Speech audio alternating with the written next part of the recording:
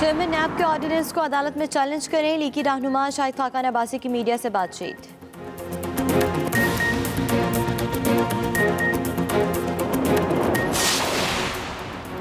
मुल्क में कोरोना से एक दिन में अठारह अमवाल, छह सौ नवासी नए केसेस सामने आए।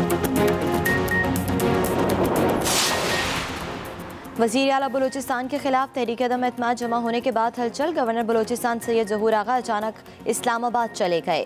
वज़ीर आज़म से मुलाकात करेंगे।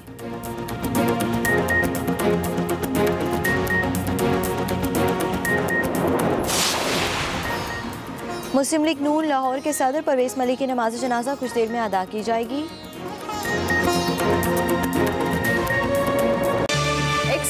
आपको एक बार फिर से खुश आमदीद और अब वक्त हुआ जाता है मेरा पाकिस्तान सेगमेंट का जिसमें हिना न्याजी आज ओलंपिक्स म्यूज़ियम जा रही हैं और दिखा रही हैं हमें कुछ ओलंपिक्स म्यूज़ियम के अंदर कुछ पड़े हुए सुवेनियर्स तो देखते हैं आज का मेरा पाकिस्तान।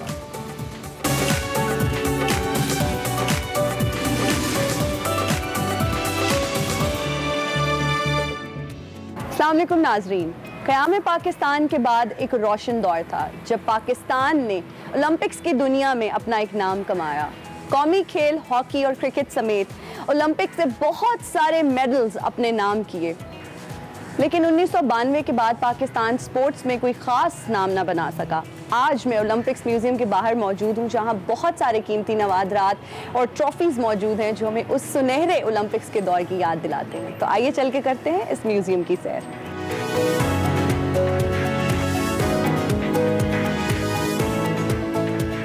अस्सलाम सर गुड मॉर्निंग वालेकुम अस्सलाम. गुड मॉर्निंग इस वक्त नाजरीन हमें प्रोग्राम में secretary general Pakistan Olympics association Khalid Mahmood साहब ने ज्वाइन किया है. कैसे हैं सर आप? ठीक है? जी बिल्कुल ठीक. सर सबसे पहले तो ये बताइए कि ये ओलंपिक्स म्यूज़ियम का क्याम कब अमल में लाया गया? देखें जी जो हमारे पास रिकॉर्ड है उसमें जो पहली इसमें शुरुआत हुई है इस म्यूज़ियम को चूँकि जो कल्चर है it is a part of Olympic movement जी। तो सबसे पहले इस पर काम शुरू किया सैयद वाजिद अली साहब तब प्रेसिडेंट थे और नकी भट्ट साहब जो थे वो सेक्रेटरी जनरल थे। तो उन्होंने यहाँ कलेक्शंस की मेडल्स की और बाकी सारी जो चीज़ें थी उनकी और एक एफ़र्ट की कि हम इस बिल्डिंग को म्यूज़ियम में कन्वर्ट करें। तो 1990 में इसकी जो है ना वो क्या इसका जो लाया गया। सर मुझे ये बताइएगा कि इस म्यूज़ियम को बनाने का मकसद क्या था? पाकिस्तान ओलंपिक एसोसिएशन की मैनेजमेंट ने इस चीज़ को ज़रूरी समझा कि हम भी यहाँ एक अपने हमारा जो कल स्पोर्ट्स की जो हमारी हेरिटेज है वो बड़ी हॉकी की बना पे बहुत इम्पोर्टेंट थी तो उन्होंने कहा कि हम अपने पुराने खिलाड़ियों के जो मेडल्स हैं पुरानी तस्वीर हैं बाकी उनकी जो स्पोर्ट्स किट्स हैं दीगर उनको हम एक जगह इकट्ठा करें ताकि हम्म। हमारे जब बच्चे यहाँ आके देखेंगे कि हमारे जो आबा अजदाद थे हमारे जो सीनियर्स थे उनकी बड़ी बड़ी अचीवमेंट्स हैं। तो ये उनके लिए एक मोटिवेशन होगी कि वो भी स्पोर्ट्स में और बाईस फ़ख्र भी। बाईस फ़खर। बिल्कुल। तो सर हम चाहते हैं कि आप हमें एक क्विक सा टूर दे दें इस म्यूज़ियम का ताकि हमें आइडिया हो जाए कि यहाँ पे कौन कौन सी ट्रॉफीज़ हैं कौन कौन से मेडल्स हैं क्या क्या यहाँ मौजूद है। हाँ जी बिल्कुल। आइए सबसे पहले तो मैं आपको एक बहुत ही जो है वो नादर किस्म की हमारे पास ट्रॉफ़ी है। जो। पाकिस्तान ओलंपिक एसोसिएशन थी ये मार्ज वजूद में 1948 में। हम्म। और इसका जो मकसद था वो ये था कि कायद अजम मोहम्मद अली जना चाहते थे कि हम जो लंदन ओलंपिक्स थी जी। 1948 में उसमें भी पार्टिसिपेट करें और पाकिस्तान अपनी नेशनल गेम भी करवाए। तो इसके हम्म। लिए एक नेशनल ओलंपिक कमेटी का होना ज़रूरी था। हाँ जी। तो नाइनटीन में ये क्रिएट हुई बॉडी और उसके बाद जो हमारी पहली नेशनल गेम्स हुई उस पर कायद अजम मोहम्मद अली जना ने ये ट्रॉफ़ी जो है ये अपनी पॉकेट से जो है बनवा के दी और आज तक ये ट्रॉफ़ी अब हमारा जो अगला चैप्टर है नेशनल गेम्स का वो कोयटा में होगा। जी। और जो भी विन करता है उसको हम इसको ये ट्रॉफ़ी देते हैं और हर दो साल के बाद हमारी नेशनल गेम्स होती है। सर यहाँ पे बहुत सारी तस्वीर आवेजा हैं। सामने एक तस्वीर मुझे नज़र आ रही है जो कि बहुत हिस्टोरिकल लग रही है। इस तस्वीर के बारे में अगर आप हमें कुछ बताएँ लेकिन तो। ये हमारे आउटस्टैंडिंग एथलीट जो थे उनके साथ जनाब कैद अजम मोहम्मद अली जना और फातमा जना की तस्वीर है और ये बड़ी ही हिस्टोरिकल है। जी। इसमें हमारे जो उस वक्त के एथलीट्स हैं उनके साथ ही उनकी फ़ोटो सर अगर मैं मेडल्स की बात करूँ तो यहाँ पर कितने मेडल्स मौजूद हैं? हमारे यहाँ इसमें जो कलेक्शन है वो 284 मेडल्स हैं 284 और ये हमें डोनेट किए हैं खिलाड़ियों ने जिन्होंने ये मेडल जीते। उन्होंने नेशनल कंपटीशन में भी ये मेडल जीते उन्होंने इंटरनेशनल कंपटीशन में भी ये मेडल जीते। अब मैं आपको दिखाता हूँ कि ये जो बोर्ड है इसमें बहुत सारी पेंस हैं जो बहुत सारी इंटरनेशनल कंपटीशन में नेशनल कंपटीशन जो है बिलोंग करती हैं। इसी तरह की चेंज आपकी साइड पर दूसरी साइड पर ये बहुत सारी गेम्स को बिलोंग करते हैं। आज तो ये जो है कोई 20 साल पुराना है कोई 30 साल है कोई 40 साल अच्छा। है लेकिन एक वक्त आएगा कि जब ये सेंचुरीज पुरानी चीज़ें होंगी और जिसमें फिर इसकी बड़ी एक वर्थ होगी।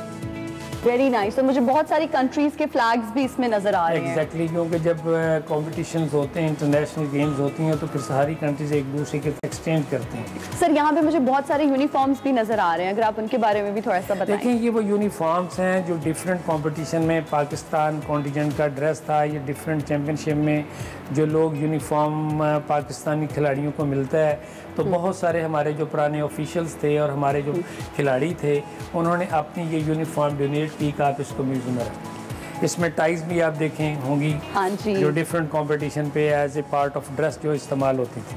कैप्स हैं टाइज हैं Yes. इवन कप्स भी हैं कुछ। इसमें वो बैज बैजेस हैं पॉकेट्स के वो भी बहुत सारे आपको मिलेंगे। सर सामने मुझे एक मुजस्मा नज़र आ रहा है। ये जी ये कुतुबुद्दीन किसका है? ऐबिक का।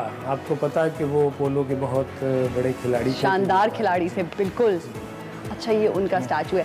सर उनके उनके मुजस्मे के साथ यहाँ पर एक कंप्यूटर भी है जो कि बहुत विंटेज और एंटीक सा लग रहा है। तो ये किस दौर में इस्तेमाल हुआ करता ये था? जब 90s में कंप्यूटर का दौर आया तो जो सबसे पहले लास्ट 80s में ईयर्स में जो पहला कंप्यूटर यहाँ इस्तेमाल किया गया उसको महफूज किया गया ताकि एक यादगार के तौर पर रहे। बताइएगा कि यहाँ पे जितने भी मेडल्स हैं जितनी भी ट्रॉफीज हैं क्या ये खिलाड़ियों की जानब से आपको डोनेट की गई हैं या फिर उनकी रेप्लिकाज हैं या कॉपीज हैं? देखें दोनों सोर्स ज़्यादा तो यहाँ डोनेट की गई हैं जो खिलाड़ियों ने भी की हैं और ऑफिशियल्स ने भी की हैं। अच्छा।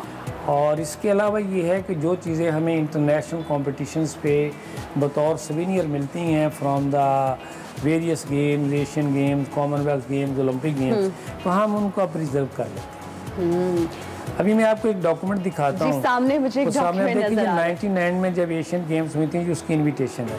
तो अब हम इसको ऐसा कर रहे हैं कि हम सेक्शन वाइज कर रहे हैं। ओलंपिक गेम्स हैं एशियन गेम्स हैं नेशनल गेम्स हैं साउथ एशियन गेम्स हैं या कॉमनवेल्थ गेम है। Categories उनकी कैटेगरीज उनकी करके हम उनको इसको रीअरेंज करेंगे। सर यहाँ पर मेरी नज़र एक गुल्ली डंडे पे भी पड़ी है उसके बारे में भी गुल्ली डंडा ये है कि आपको पता है कि पंजाब का ये बहुत पाकिस्तान का इवन अगर आप 40-50 पीछे साल पीछे जाएँ तो गुल्ली डंडा खास तौर पे देहात में बहुत ही important- उनकी समझ- बिल्कुल। और मेरा ख्याल तो ये है कि आज भी गुल्ली डंडा शुरू कर दिया जाए और उसके रूल्स बना दिए जाएँ तो ये बेसबॉल और क्रिकेट की तरह बहुत मशहूर हो जाए मशहूर हो जाएगा। पॉपुलर हो जाए सर अब आप हमें कहाँ लेके जा रहे हैं? हाँ मैं आपको एक अ, हॉकी है हमारे पास बहुत पुरानी जो नसीब बुंदा साहब ने 1960 में जिससे हिस्सा लिया। ओके। और चूँकि पाकिस्तान में जो हमारे मेडल आए हैं ओलंपिक्स में पाकिस्तान की तारीख में हॉकी है जिसने सबसे ज़्यादा मेडल जीते हैं। और ये बहुत ज़रूरी है कि मैं आपको वो हॉकी दिखाऊँ जिससे पाकिस्तान की टीम पूरी दुनिया में जिसकी एक हैबत बैठी होती थी। देखें ये है जी हॉकी। नसीर बुंदा साहब ने 1960 में इसको यूज़ किया और इसको जो है रमिया वाजिद साहब ने डोनेट किया। उनकी फैमिली के पास क्या होंगे जैसे अच्छा। भी। लेकिन he did lot of efforts for it ज़बरदस्त। सर, अगर वर्ल्ड कप ट्रॉफीज की बात की जाए तो यहाँ पे कितनी वर्ल्ड कप ट्रॉफीज मौजूद हैं? वर्ल्ड कप ट्रॉफीज यहाँ मौजूद नहीं है, लेकिन हमारा जो प्लान है, जो उसमें ये है कि हमने जितने भी पाकिस्तान ने इस किस्म की ट्रॉफी जीती है चैम्पियंस ट्रॉफी है वर्ल्ड कप है स्क्वाश में भी जीता सॉकर में भी हमारा क्रिकेट में भी। तो हम चाहेंगे कि हम उनके रेप्लिका जब इसको हम रीवैम्प कर लेंगे हम इसकी टू स्टोरी बिल्डिंग बनाना चाहते हैं। तो तब फिर उस सेक्शन वाइज हम उनसे रिक्वेस्ट करेंगे कि हम उन चीज़ों को ला के सर अगर ओलंपिक्स की बात की जाए तो बताइएगा कि आखिरी कौन सा मेडल था जो ओलंपिक्स की गेम्स में पाकिस्तान ने जीता? पाकिस्तान ने लास्ट मेडल जी बॉक्सिंग में जीता अराउंड 1988 में। सर सामने भी एक तस्वीर जो है वो हैंग हुई हुई है जिसमें कुछ लोगों ने स्टिक्स उठाई हुई हैं हॉकी नुमा उन्होंने छड़ियाँ उठाई हुई हैं। उनके बारे में भी बताएँ ये वहाँ से यहाँ तक का सफ़र कैसे मुमकिन हुआ और क्या इसकी हिस्ट्री है? देखिए जी सब कॉन्टिनेंट में मैं कहूँगा कि गाँव में जो हॉकी थी वो इसी तरह खेली जाती थी। उनको हॉकी तो अवेलेबल नहीं होती थी। जी। लेकिन यहाँ से चलते चलते सब कॉन्टिनेंट दुनिया का वर्ल्ड चैम्पियन बना और फिर पाकिस्तान और इंडिया ने पूरी दुनिया पे हॉकी में राज किया। तो यकीनन अगर ये खेल गाँव में ना होता तो डेफिनेटली हम इस मुकाम तक नहीं पहुँच सकते थे जहाँ पाकिस्तान की हॉकी आज पहुँची।